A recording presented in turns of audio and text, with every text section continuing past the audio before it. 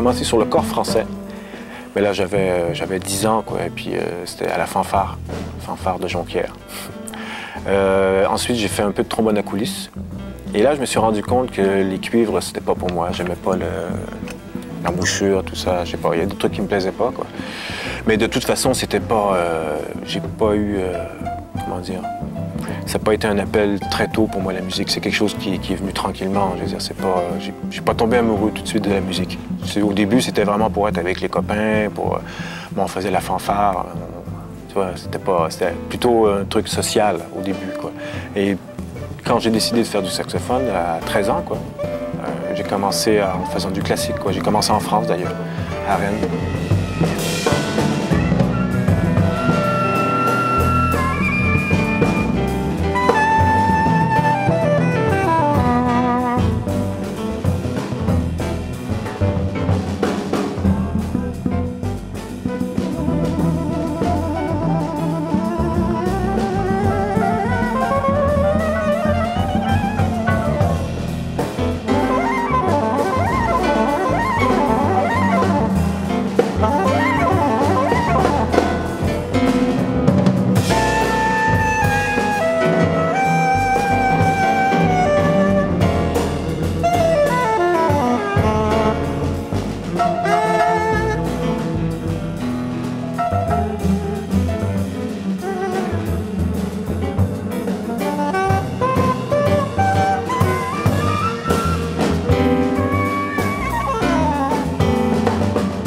Moi, c'est important de voyager, entendre d'autres musiques, rencontrer d'autres musiciens et, voir un peu de pays. Si j'arrive dans, une, nouvelle ville où j'y connais, connais personne pratiquement, et là, il y a un travail à faire de rencontres, donc de rencontres musicales évidemment, de rencontres de gens. Et euh, j'aime bien me découvrir les choses, donc euh, m'enrichir, essayer d'élargir le plus possible mon champ musical et humain aussi.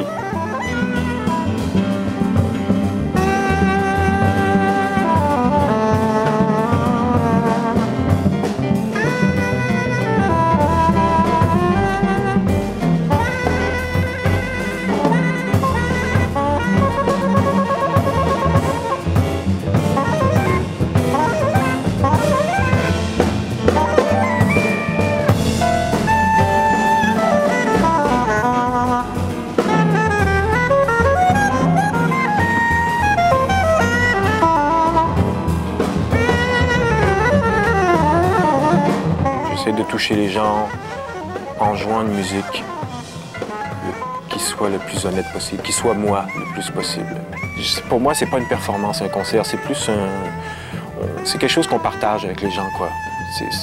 tous les gens sont là, ils viennent le soir, et puis euh, nous, on est là, alors pourquoi, pourquoi essayer d'être autre chose que soi-même, quoi? Je veux dire, donc j'essaie vraiment d'être d'être clair. Donc, euh, en étant clair, j'essaie d'être moi-même.